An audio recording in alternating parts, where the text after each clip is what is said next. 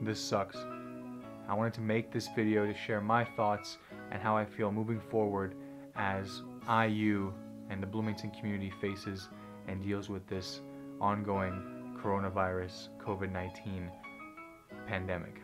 No matter where you are in the world, I wish you the best right now. I hope you are home, safe, with family and friends, and healthy above all. IU is home is a literal phrase for me as I'm from Bloomington, Indiana, a townie. Love us or hate us. I just really wanted to document my thoughts and hopefully give a little bit of insight into what's going on here at IU. Indiana University announced that the remainder of the spring 2020 semester would be online. They extended our spring break one more week and have ordered that all the residence halls be closed and residents move out by Friday, March 20. I want to take this opportunity to share my thoughts about everything going on here at IU. As a third year RA, I'm doing my best to keep my residents informed and supporting them as much as I can and just being there for them during this tough time. When IU announced that basically the spring semester would be cut short, canceling all major events, it didn't really hit me as my IU career ending because I'm fortunate enough to be continuing here next year through my accelerated master's program. But to any of my fellow seniors in the class of 2020, I hope it was an amazing four years. This isn't something you can necessarily prepare for. I'm not speaking on behalf of any IU department. This is just me, Sohile Ali, speaking from my own perspective.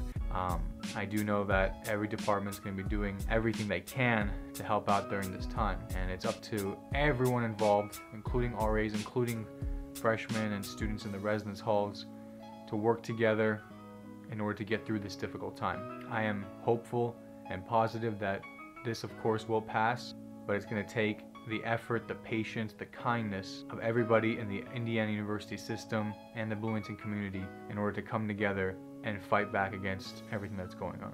RPS said in their latest email that they want the best for their students, and if leaving the residence halls isn't that, then they will not kick you out. Those of us that have had our last undergraduate class in person at IU's campus. This is um, this is a tough one. The class of 2020, we are innovators, we are believers, we're dreamers, we're doers. We are the historic 200th class of this university. Coming out of this, it won't be easy, but we will all remember this moment. Everyone will remember where they were and what they were doing when the coronavirus outbreak happened. Us seniors, the class of 2020, We'll remember it as the time in which we were challenged and we persevered. This is something that we will overcome, something that we can be proud of, that we overcame this outbreak, this pandemic, this national emergency. This chip on our shoulders will serve us well in the job markets as we continue our careers, academic journeys. I'm hopeful that each and every one of you have the resources and the strength to get through this time. Look after each other. Check in on your friends and family members. Practice social distancing. Be a part of the solution. We will get through this, and I can't wait to see you back on the other side. And to the class of 2020, we ain't finished yet.